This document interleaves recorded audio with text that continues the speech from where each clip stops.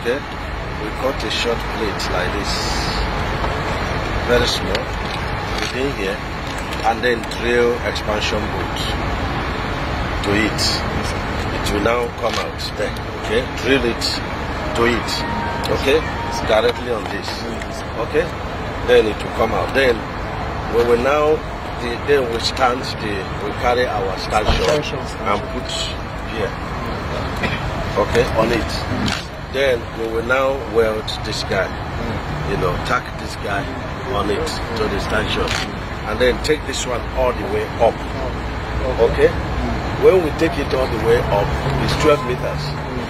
So when we take the other one we use scaffolding and then brace it to, to stand. But to raise it uh, uh, you know above the, the floor level.